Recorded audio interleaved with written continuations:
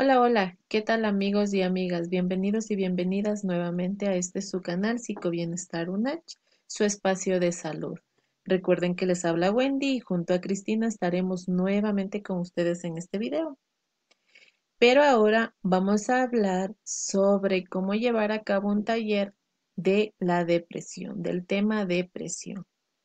Es importante, recuerden, tener puntos claves, características, o ciertas consideraciones a tomar en cuenta para poder iniciar con este taller de la depresión. Es decir, que vamos a tomar en cuenta conceptos, tipos, causas, tips sobre todo lo que tenga que ver con la depresión. Este tema es también muy importante y tiene bastante relevancia. En nuestro entorno podemos ver personas que dicen, me siento deprimida, hoy estoy deprimida. Siempre he sido una persona deprimida. Tengo depresión. Pero, ¿qué tan cierto es esto? ¿Será que están utilizando bien el término? ¿Será que si en un día me siento un poco triste, estará bien decir estoy deprimida? Es por ello que es importante que la información que demos a las personas o a nuestro grupo de asistentes del taller sea muy veraz para que puedan ellos ser los transmisores de este conocimiento hacia otras personas, para así lograr tener una psicoeducación comunitaria. Entonces, iniciamos. Recuerden amigos, iniciar con una dinámica. Antes del taller yo recomiendo iniciar con una dinámica para afianzar un poco el grupo. Esto es muy importante. Recuerden que pueden utilizar cualquier dinámica, pero yo considero importante utilizar una dinámica que más o menos se relacione con el tema que vamos a tratar. La dinámica de hoy se llama autoestima. Primero, tenemos que explicar a las personas qué es autoestima. Entonces, uno de los conceptos de la autoestima es que es la percepción que tenemos sobre nosotros mismos. A menudo, esta percepción puede ser generada hacia otras personas y podemos elevar el autoestima de otras personas, diciendo o mencionando o resaltando algún aspecto positivo de otra persona. Es así que en el grupo vamos a pedir a las personas que formen dos grupos. Estos dos grupos van a formarse en dos filas, pero viéndose frente a frente.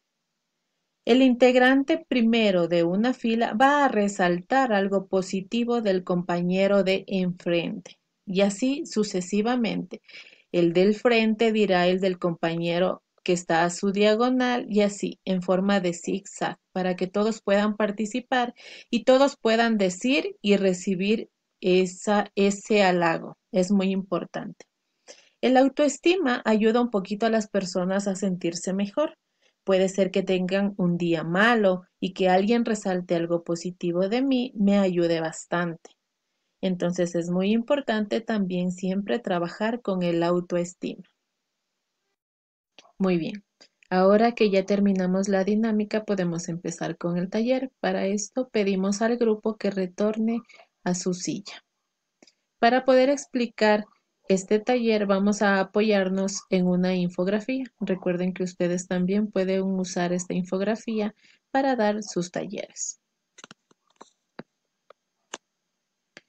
Es importante conceptualizar primero el término. ¿Qué es la depresión? Son cambios del estado de ánimo caracterizado por sentimientos de profunda tristeza. Pero no solo se trata de una profunda tristeza. También viene acompañado de otros síntomas, como sentimientos de culpa, la tristeza profunda, cansancio, falta de concentración, problemas del sueño, problemas del apetito, pérdida de interés e ideas suicidas en el peor de los casos, en la depresión más grave. Algunas de las causas para que se dé este padecimiento van entre abusos de sustancias, consumo de estas sustancias, familia disfuncional, pérdidas de seres queridos que pueden ser amigos o familiares, herencia, quiere decir que si un familiar tuvo un tipo de depresión mayor es muy, muy probable que otro familiar también tenga este padecimiento. También se da por la ausencia de padres También se da cuando una persona tiene bajo autoestima o cuando una persona ha sufrido de algún tipo de abuso.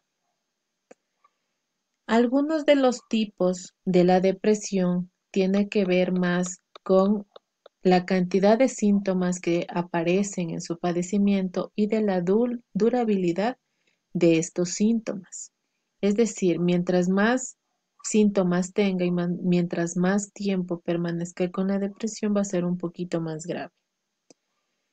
Hay algunos tips de manejo para esto, para eh, la depresión, pero es muy importante que la persona, si se encuentra en un estado de depresión, tomando en cuenta todos estos síntomas, se dirija hacia un profesional que lo pueda ayudar. Primero, si la persona está con un tipo de depresión grave, la persona va a requerir de algún tipo de medicamento, que son los antidepresivos, pero estos solo los puede recetar un médico profesional en psiquiatría. También se realiza un trabajo en conjunto con un psicoterapeuta, un psicólogo clínico especializado en psicoterapia, quien tendrá la habilidad para conjuntamente con el paciente crear algunas alternativas para ayudarle a superar este padecimiento.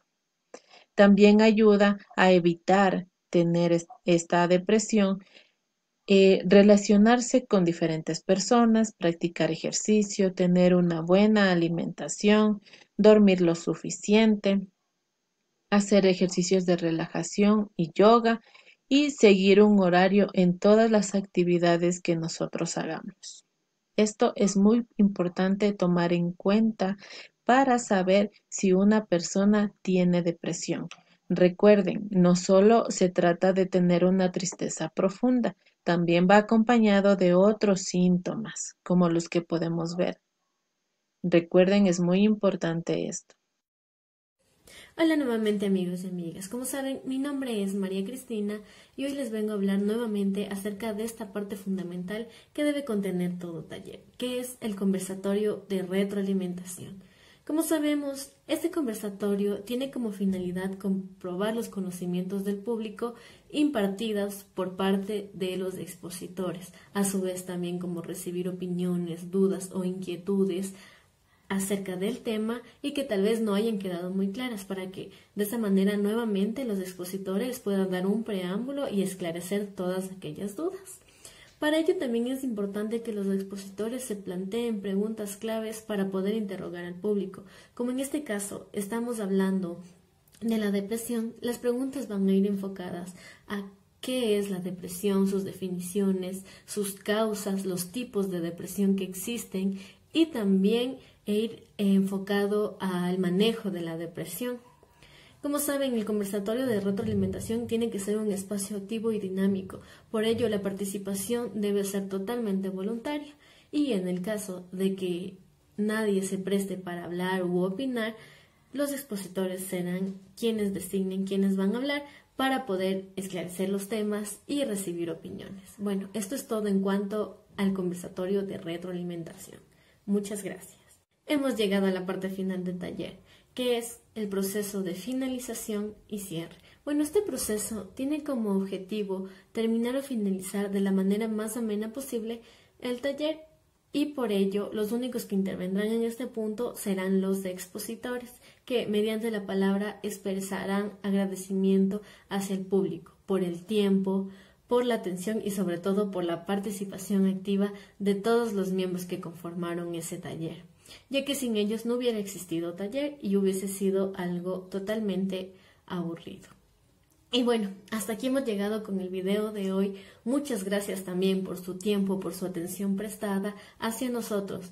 Recuerden que este es su espacio de salud mental, psicobienestar UNACH y que posteriormente vamos a subir muchos más videos acerca de temas importantes en psicología. Por ello, no olviden suscribirse, darle like y también estar pendiente de cada una de nuestras publicaciones. Muchas gracias y hasta pronto. Chao.